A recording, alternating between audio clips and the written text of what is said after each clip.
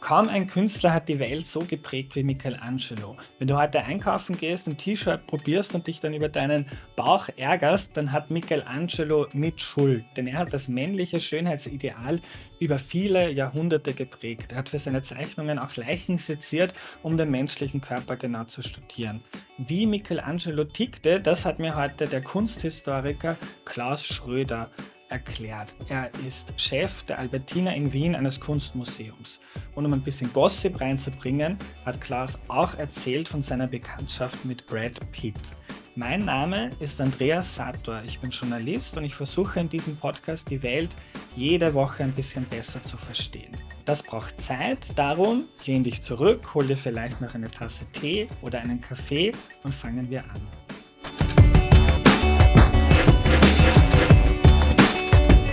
Ja, Klaus, äh, gestorben ist er vor knapp 450 Jahren oder vor knapp 500 Jahren, Michelangelo. Warum sollte mich der 2023 noch interessieren oder warum interessiert er dich noch? dass er auch gerade eine Ausstellung zu ihm kuratiert. Ich finde ehrlich gesagt die Frage, warum uns etwas, das so weit zurückliegt, interessiert, für eine sehr wichtige Frage. Ich halte das nicht für eine oberflächliche Frage, ganz im Gegenteil. Denn in Tat und Wahrheit ist das Weltbild eines Menschen des 15. und 16. Jahrhunderts so vollkommen anders als unser eigenes. Der Glauben sitzt unendlich tief, man hat vor der Ewigkeit und vor der Verdammnis unendliche Angst. Es ist ein Zeitalter der Glaubenskriege, das könnte man bis zum gewissen Grad äh, parallel setzen zu dem Clash of Cultures unserer Gegenwart. Aber alles in allem hat das 16. Jahrhundert mit seinen Päpsten, mit seinen Autokratien, mit seinen Monarchien nichts mit unserem demokratischen westlichen Verständnis heute zu tun. Daher ist diese Frage relevant und richtig, nicht falsch und oberflächlich. Es ist allerdings das Besondere an Kunst, muss aber erklärt werden, warum sie zwar aus einer ganz bestimmten Zeit heraus nur verstanden werden kann und nur in einer ganz bestimmten Zeit entstanden ist. Wir können uns nicht denken, dass Michelangelo genauso gut zufälligerweise als dieselbe Person im, im Hochmittelalter hätte geboren werden können oder im Frühmittelalter, dann wäre er nicht Michelangelo geworden. Oder im 20. Jahrhundert, auch dann wäre er nicht Michelangelo. Er ist nur aus seiner Zeit heraus zu verstehen, von seinen Auftraggebern heraus zu verstehen, von der Entdeckung der Welt, die in der Renaissance stattfindet, heraus zu verstehen. Und trotzdem überlebt in seiner Kunst etwas, das weit seine Zeit übersteigt. Was ist das, was ihn aus seiner Zeit heraus verständlich macht? Er ist in einer Zeit geboren, die an der Schwelle vom Mittelalter zur Neuzeit liegt. In seiner Lebenszeit wird Amerika entdeckt, obwohl Kolumbus das nicht weiß und denkt, er hat den Weg nach Indien gefunden. In seiner Zeit trennt sich der katholischen Kirche der Protestantismus von der römischen Kirche. Die anglikanische Kirche unter Heinrich VIII. trennt sich. Es ist eine Zeit der Glaubenskriege, es ist eine Zeit, die von Pest, Armut und entsetzlichen Kämpfen der Bevölkerung geprägt ist. Und das ist eine Zeit, in der die Fürsten ein unendliches Repräsentationsbedürfnis haben.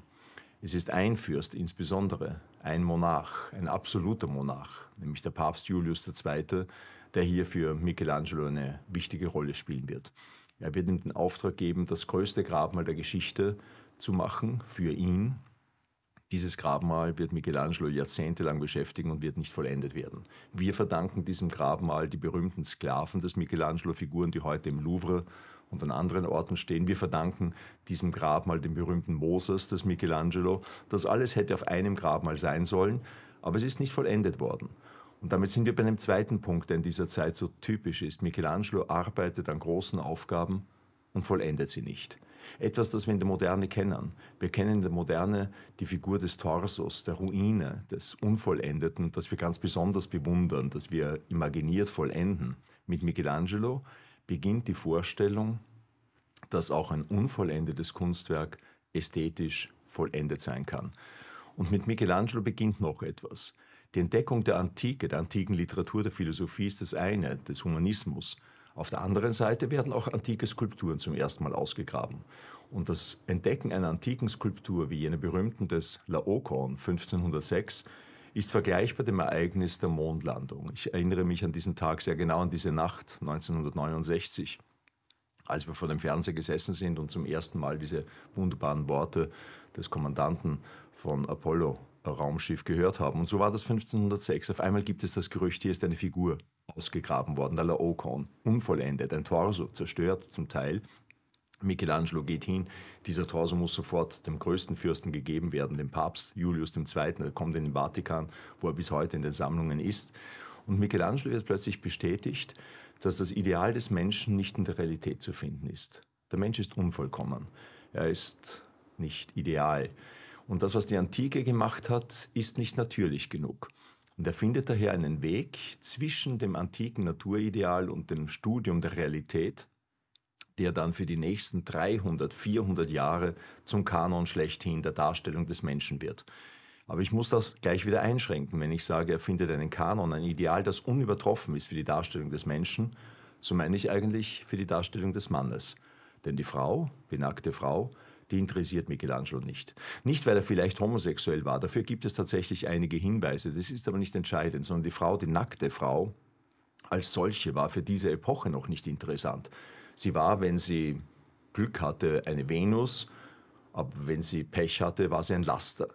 Als Tugend ist sie immer in wallende Kleider gehüllt gewesen. Sie ist gleichsam die Rückseite des Mondes. Wir wissen, dass die nackte Frau existiert, sonst wäre die Menschheit längst ausgestorben. Aber wir sehen sie nicht an. So schafft Michelangelo selbst für seine Frauenfiguren, wenn er alttestamentarische Prophetinnen nach der Sixtinischen Decke malen muss, letzten Endes Männer gestalten, denen er im Nachhinein noch Brüste appliziert, sekundäre Geschlechtsmerkmale. Aber sein Ideal des männlichen Aktes ist von 1500 weg, vom David weg, über die Sklaven des Michelangelo bis zu seinem Spätwerk, das Ideal bis 1800. Aus dem Schatten Michelangelos kann sich niemand lösen, nicht einmal so große Künstler wie Peter Paul Rubens, der etwa all jene Michelangelo-Zeichnungen gesammelt hat, die wir heute in der Albertina besitzen. Und unter menschlichen, du meinst eine Zeichnung von einer eine nackte genau. Figur, einen menschlichen Körper, den männlichen Akt. Den stellt er als erster als autonom dar mit dem David. Das ist ein aus einem Block gehauene Gestalt, der David, der den Goliath erschlagen hat, ein schmalbrüstiger, kleiner, Hirtensohn, der den unbesiegbaren Goliath besiegt, weil er die Schleuder besser zu schleudern weiß. Und das sieht man bis heute an der Figur des David. Er steht in Florenz, seine Kopie auf der Piazza della Signoria und das Original in der Accademia. Da schafft aus einem ganz schmalen Block, den jeder nicht, niemand wagt anzurühren, aus Carrara-Marmor, weil man ihn nur zerbrechen kann, eine Figur, die voller Anspannung ist, voller Kraft, innerlicher Kraft. Und das wird er immer weiterentwickelt. Die Figur des Michelangelo ist immer von inneren Kräften zerrissen, als ob das Zeitalter mit seinen Glaubenskämpfen, mit seinen gewaltigen Kriegen äh, letzten Endes in jeder einzelnen Gestalt sitzt. Aber diese Gestalt des Heros, der die Welt bezwingen kann, der Kraft seiner eigenen Logik, seiner eigenen Dimension die Welt besiegen kann, ist nur für eine bestimmte Zeit gültig, für etwa 300 400 Jahre. So wie der Buchdruck für eine bestimmte Zeit gültig war und heute abgelöst wird von einem digitalen Zeitalter, so war auch Michelangelos Kanon mit einem Ablaufdatum versehen. Mit der Industrialisierung, als die Massenkriege begonnen haben und als eine Kanone den Helden plötzlich irrelevant erscheinen lässt, ist auch dieses Ideal Michelangelos letzten Endes veraltert gewesen und kann nicht mehr überleben. Aber als ästhetisches Ideal ist es bis heute unübertroffen und wird daher von Hunderttausenden Menschen in Rom aufgesucht, wo er die Sixtinische Kapelle ausgemalt hat. Zuerst die Decke, dann das jüngste Gericht an der Altarwand, wo er seine Skulpturen gemacht hat. Und daher äh, wird er bis heute auch in der Albertina aufgesucht bei dieser Ausstellung, die sich beschäftigt mit den Folgen dieses Kanons. Michelangelo, die Folgen. Ich war dort, fand das sehr interessant und ich finde es auch spannend. Du hast jetzt erzählt, so ähm, hat sich beschäftigt mit der Antike und dem Körperbild da. Und das war, wenn man sich jetzt ich denke da jetzt an Herkules und an diese Figuren, die man auch aus dem Fernsehen kennt, sehr unrealistische Körper. Der hat das dann ein bisschen angepasst, aber eigentlich das so, wenn ich jetzt einkaufen gehe und ich probiere da ein, ein Shirt und dann sieht man da meinen Bauch, weil es ist geschnitten für eigentlich einen muskulösen Mann, der ich nicht bin, dann bin ich da geprägt äh, quasi von dem, was Michelangelo und andere Leute über Lauf der Zeit. Äh, Vollkommen richtig. Ja. Vollkommen richtig. Wenn wir heute Treuer sehen mit Brad Pitt, dann glauben wir, mein Gott, diesen Körper hätten wir gerne. Also auch diesen Körper, ich kenne Brad Pitt persönlich, hatte der nur wenige Wochen während der Aufnahmen. Dafür wird er aufgepimpt und zwar nur in jenen Körperpartien, die man im Film sieht, mhm. die filmtauglich sind und filmrelevant sind. Und dieses Ideal, das er hier vor sich herträgt, von dem wir glauben, so würden wir gern aussehen, das denkt er sich auch, so würde er auch gern aussehen. Und da das nur für wenige Wochen ist, ist es auch nicht gesundheitsschädlich. Aber dieses Ideal ist das Ideal des Michelangelo. Eigentlich ein völlig künstliches Ideal. Und so wie es wahrscheinlich nie gut ist, wenn wir Idealen nacheifern, die wir gar nicht erreichen können und unter dem Nicht-Erreichen womöglich dann leiden. Der Leidensdruck ist, ist kein erstrebenswerter Zustand. Äh, so ist das hier wohl mit dem Michelangelesken Ideal. Aber es ist natürlich auch immer wiederum schön, wenn man eine Utopie, einer Utopie begegnen kann, einem idealen Leib, äh, den man bewundert, obwohl man ihn selber nie erreichen wird. Und die Schönheit der Michelangelo-Akte ist nicht nur äh, oberflächlich schön wie vielleicht der Brad Pitt-Körper in dem Film Treuer, sondern er ist auch ein Zeichen der inneren Zerrissenheit. Der Mensch ist ja nicht aus einem Guss. Wir haben Abgründe, wir haben Widersprüche. Und ich rate jeden, der eine unserer Michelangelo-Zeichnungen sieht, einmal ganz kurz für einen Augenblick, für wenige Sekunden, die Haltung einzunehmen, die dieser männliche Akt einnimmt. Und dann merkt man plötzlich, wie die Schulter und die Hüfte und die Knie alles in verschiedene Richtungen gehen. Man sagt, das kann ich gar nicht, da zerreißt es mich. Dieses Zerreißen, weil die gegenläufigen Kräfte so stark sind, wird zum Ausdrucksträger einer inneren Zerrissenheit. Und das macht ihn ideal für das 20. und 21. Jahrhundert. Ein ganz anderer großer Renaissance-Künstler, Raphael, würde das nie tun. Raphael ruht in sich. Das ist ein idealer Körper, bei dem Seele und Geist im Einklang stehen. Das ist jene Schönheit, die wir im 19. Jahrhundert heute manchmal etwas langweilig finden. Diese Madonnenbilder, ganz ruhig, unberührt von irgendwelchen Zweifeln, Selbstzweifeln oder Kämpfen. Michelangelo ist zerrissen. Und diese inneren Kämpfe stehen uns viel näher als wahrscheinlich das Ideal des Raphael. Jetzt muss ich kurz zwischenfragen, woher kennst du Brad Pitt? Er hat die Albertina besucht, mhm. als er noch mit Angelina Jolie zusammen war und beide einen Chile besitzt und habe mich dann zu diesem Chile befragt. Mhm. Toll. Äh, ein bisschen zurück in die Zeit von Michelangelo.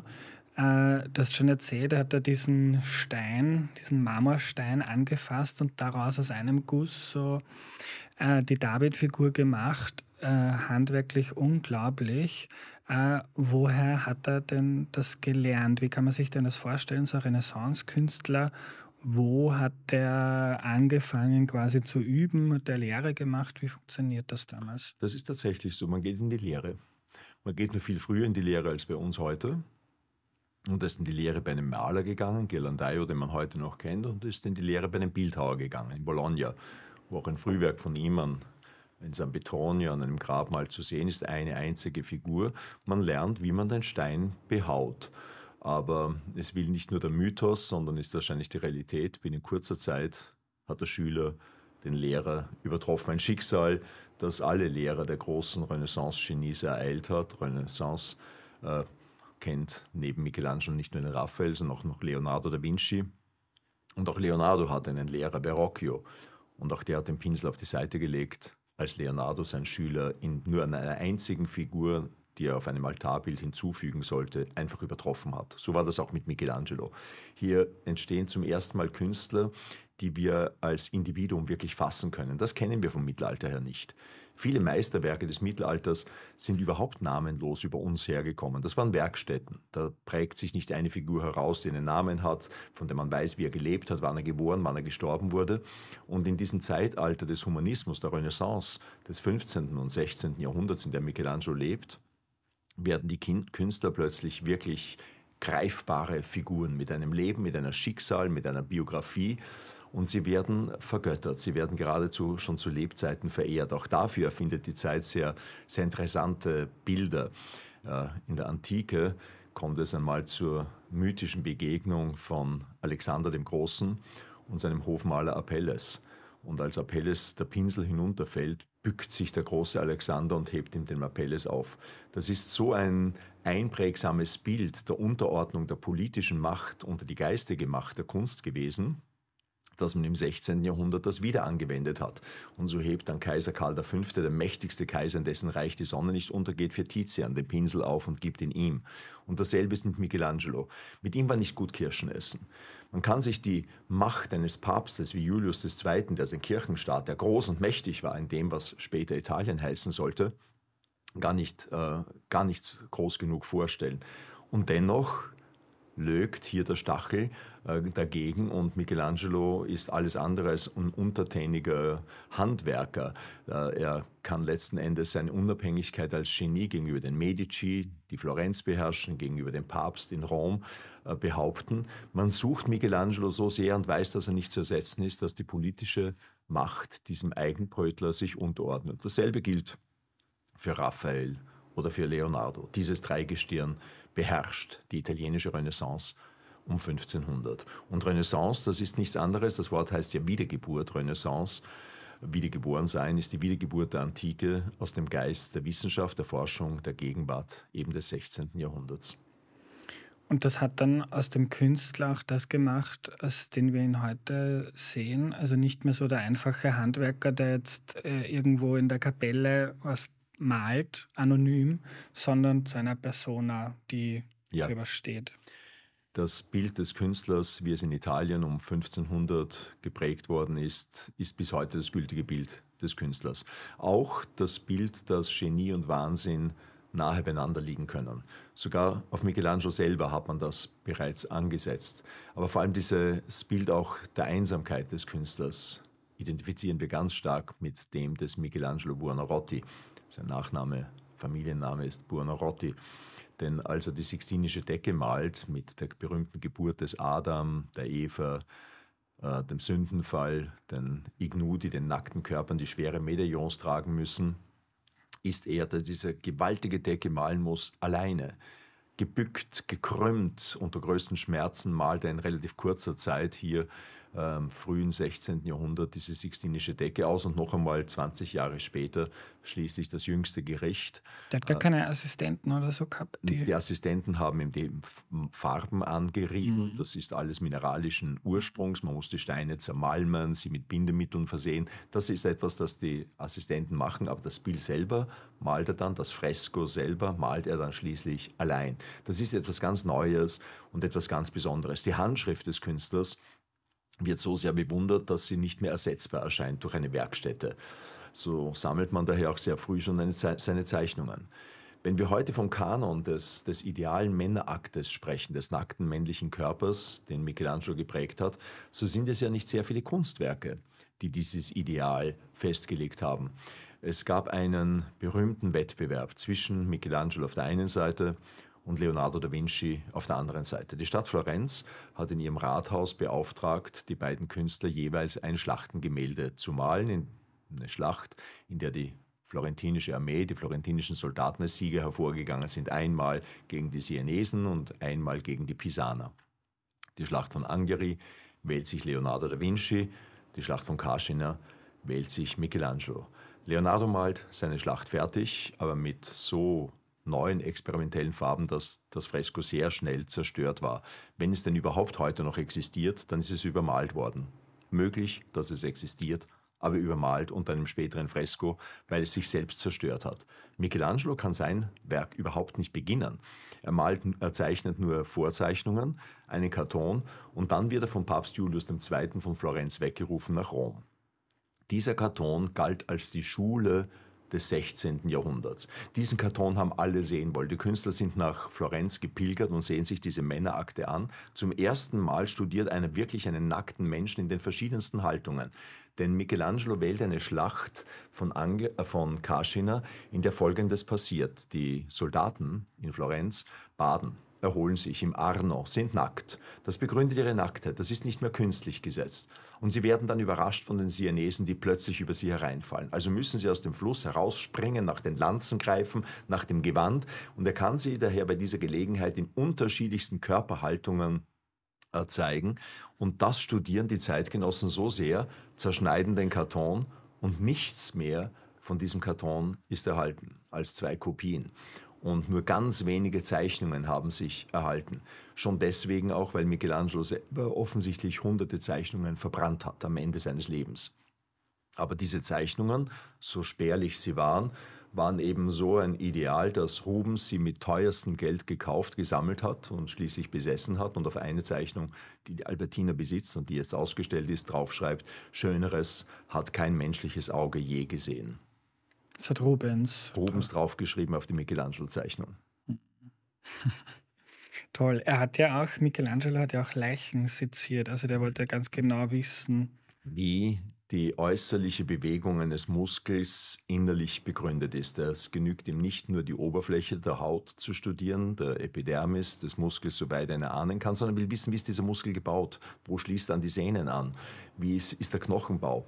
Das hat auch Leonardo gemacht. Natürlich war das nicht ganz einfach. Damals ist das sehr schnell mit äh, Leichenschänderei, mit Hexerei, mit unchristlichem Tun äh, verbunden gewesen. Aber er hat das getan und das ist wohl auch ein Fundament dafür, dass sein Studium der antiken Körper, die er in den Skulpturen sieht, die man ausgräbt, wie den Laokon und andere Skulpturen, den Apollo von Belvedere etwa, dass er diese Steine mit Leben erfüllen kann. Er weiß, wie der Körper funktioniert. Er weiß, wie die innere Muskulatur angespannt sein muss, damit eine bestimmte Haltung glaubwürdig zu uns kommt.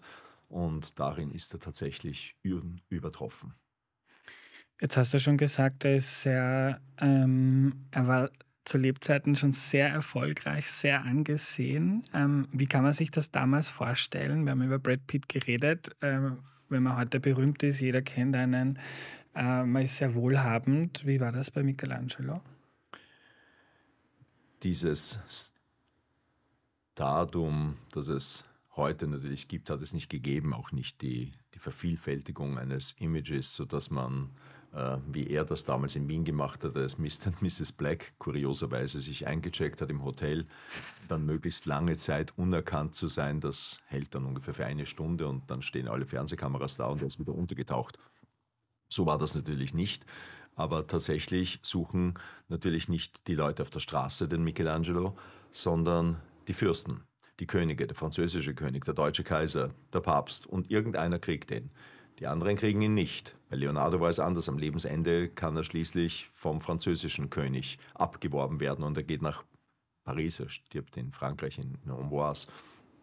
Aber das ist ein Wettkampf, der nicht auf der Straße mit den Massen ausgefochten wird, sondern zwischen der politischen Elite, die über das Vermögen verfügt, große Aufträge geben zu können. Denn damals wird ja Kunst nicht autonom geschaffen und später auf einen anonymen Markt gebracht. Bin neugierig, wer meine Zeichnungen kauft, wer mein Gemälde erwerben möchte, sondern jedes Werk ist das Ergebnis zuerst einmal eines Auftrags.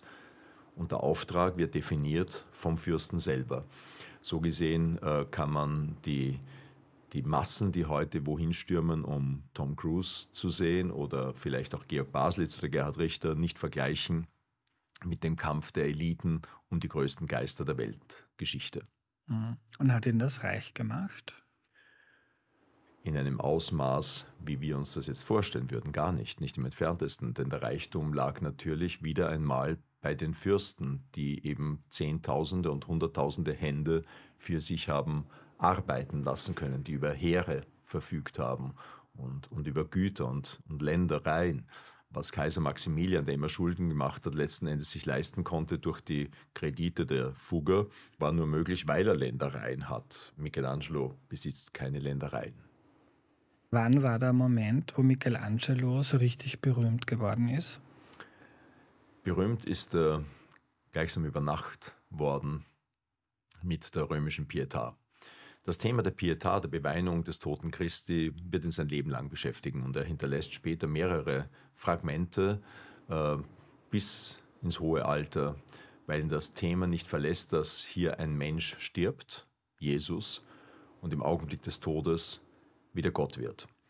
Aber seine allererste Pietà, die sogenannte römische Pietà, die er in St. Peter gemacht hat und wo sie steht, war vielleicht äh, der Durchbruch schlechthin für ihn. Was ist dabei dargestellt?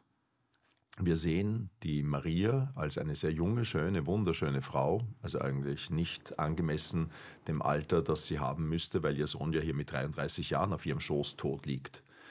Sie ist viel, viel größer als Jesus selber, Das merkt man aber nicht. Es gelingt ihm diesen größten Unterschied, würde Maria aufstehen und Jesus neben ihr stehen, dann wäre er um eine halbe Leibeskörpergröße größer, aber es gelingt, das so natürlich einzubetten, dass man denkt, sie sind gleich groß. Damit hat sie in diesem wuchtigen Leib, in dem wallenden Gewand, ihren toten Sohn auf dem Schoß. Und dieser Sohn ist in dem Augenblick, in dem er Mensch war, zu sehen, denn er ist schlaff, er ist wirklich tot. Kein Gott kann wirklich tot sein, nur ein Mensch kann tot sein. Es ist der Beweis ergeben er. Der Gottessohn ist Mensch und Fleisch geworden. Gleichzeitig ist er wieder Gott, denn er ist in der idealischen Schönheit gesehen. Keine Wunden der Marter, der Passion, keine Hiebe der Geißeln, keine Wundmerkmale, die den Körper verstümmeln würden, die ihn hässlich erscheinen lassen. Die Antike hat am Frühchristentum nie verstanden, wie kann das Christentum an einen Gott glauben, der hässlich ist, der leiden muss, den man schlägt, den man peinigt. Und bei Michelangelo sieht man dieses Umschlagen des Augenblickes, der Mensch stirbt, er ist tot und schlaff, er lässt alles hängen und das wird umso deutlicher spürbar und empfindbar für jeden Menschen, der das sieht, weil diese Muskeln stark sind. Sie könnten stehen, sie könnten Kraft ausüben, aber sie erschlaffen im Augenblick des Todes. Und die idealische Schönheit des Gottes ist wieder da. Das ist so ideal gelungen in einer pyramidalen Komposition, aus einer Pyramide geschnitten, dass die Zeitgenossen gesagt hat, äh, so eine Pietà wurde noch nie zuvor dargestellt. Und da ist er berühmt geworden und das hat sich dann beim David natürlich auch bewiesen. Und berühmt hieß dann damals unter den Künstlerkollegen anerkannt, unter den Fürsten? Unter den Fürsten, natürlich unter den Künstlern, klar, aber das hätte keine weiteren Konsequenzen, außer vielleicht Neid, Streit. Tatsächlich ist Michelangelos Physiognomie beeinträchtigt, er hat eine eingeschlagene Nase. Ein Streit mit einem Künstler in seiner Werkstatt Jugend, Gesellenzeit hat dazu geführt, dass der ihm die Nase zertrümmert hat, das Nasenbein so zerbrochen hat, dass er bis an sein Lebensende eine Boxernase eigentlich hatte. Aber berühmt für die Fürsten. Und daraufhin ruft ihn Julius II. weg von Florenz nach Rom. Und wenn der Papst ruft, dann kann man nicht Nein sagen. Gestorben ist er dann recht alt, mit 89 Jahren. Du hast vorhin gesagt, er hat dann hunderte Zeichnungen verbrannt. Weiß man warum? Haben ihn irgendwie alle bewundert, aber er selber hat sich gedacht, das ist ein Schmoren oder? Ja, das ist tatsächlich eine Tragik. Äh, wir wissen nicht, wie viele Zeichnungen, aber es ist sehr gut überliefert, dass er Zeichnungen verbrannt hat, und zwar Hunderte. Es ist auch völlig klar, dass all diese Sklaven, die er in Stein gehauen hat, der David, Vorzeichnungen haben mussten, auch die Pietà. Dahinter steht zwar hinter so einer Figur ein platonisches Ideal. Das Ideal besagt, dass im Steinblock selber schon die Skulptur enthalten wäre und man müsse sie nur rausschälen. Das ist aber nur eine Vorstellung. Natürlich muss der Künstler vor das ganz genau zeichnen, wo setzt er an, wie behaut er den Stein, um die Figur rauszukriegen. Das heißt, für all diese Skulpturen, für den Moses, für all diese Ignudi, für das jüngste Gericht, für jede einzelne Figur muss es Zeichnungen gegeben haben. Aber insgesamt gibt es von Michelangelo je nach Schätzung zwischen 40 und 200 Zeichnungen. Und das inklusive der, Architekton der architektonischen Zeichnungen, die er hinterlassen hat. Also nur einen Bruchteil dessen, was er damals gemacht haben muss wenn man jetzt noch weiß, dass in seiner Zeit zum ersten Mal die Zeichnung als eigenes Medium gesammelt wird und teuerst bezahlt wird von Sammlern, weil in der Zeichnung als der kürzesten Verbindung vom Kopf über das Herz in die Hand auf das Papier man denkt, das Genie geradezu am nächsten zu spüren und zu sehen, wundert man sich, dass er das zerstört hat. Er hat es getan. Er hat in seinem Zweifel, er war wohl wirklich ein Grübler, er war ein Selbstzweifler, er war jemand, der an der Welt verzweifelt ist, er hat die Welt verachtet hat, dieses Contemptus Mundi, muss dazu geführt haben, dass er hunderte Blätter vernichtet hat und wir heute immer noch streiten, ob wir bei manchen Zeichnungen ein, eines der wenigen Originale haben, die es gibt, oder womöglich eine Kopie nach einer Zeichnung. Denn viele dieser Zeichnungen, die auch vernichtet worden sind, sind schon im 16. Jahrhundert von seinen Schülern, von seiner Werkstätte kopiert worden. Er hatte ja einige Schüler, die berühmt geworden sind und später berüchtigt.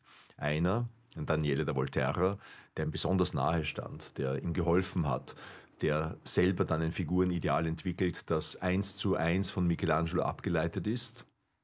muss im Zeitalter der Gegenreformation, als die katholische Kirche gegen den Protestantismus, gegen die Lutheraner kämpft, die Nacktheiten des Michelangelo beseitigen. Und er wird dann zum Schamtuch-Maler degradiert und muss an dem jüngsten Gericht des Michelangelo vor jedem Geschlecht ein kleines Tüchlein drüber malen. Ausgerechnet der, dem am meisten vertraut hat, ausgerechnet der Schüler, der seinen Lehrer am meisten verehrt hat, wird zu demjenigen, der ein ganzes Fresko leicht verstümmeln muss, womit wir heute umgehen können. Und der hat auch einige Zeichnungen, die verloren sind, kopiert, sodass wir die Kopien kennen. Lieber Klaus, danke für deine Zeit. Gerne, Dankeschön. Für mich war das ein total faszinierendes Gespräch. Ich könnte Klaus noch viele Stunden zuhören, aber das sind drei Dinge, die ich mir heute mitnehme. Erstens, Michelangelo war ein Genie, hatte aber auch stark an sich gezweifelt und vor seinem Tod hunderte seiner Zeichnungen verbrannt. Es ist die Tragik der Geschichte, dass sehr viele Menschen, die Großartiges leisten, extrem an sich selbst zweifeln. Zweitens, Michelangelo lebte in einer Zeit großer Umbrüche, Kriege, Pest, Hungersnöte und Konflikte und diese Konflikte spiegeln sich auch in seiner Kunst. Drittens, er hat die Renaissance mitgeprägt und damit eine Zeit, in dem der Künstler, den wir heute kennen, entstanden. Weg von einem einfachen Handwerker hin zu einer Person, die seinen ganz persönlichen, individuellen Stempel in einem Gemälde oder in einer Statue mich würde von dir noch interessieren, gibt es Künstler, die dich besonders faszinieren und zu denen wir vielleicht noch Podcast-Folgen aufnehmen sollten?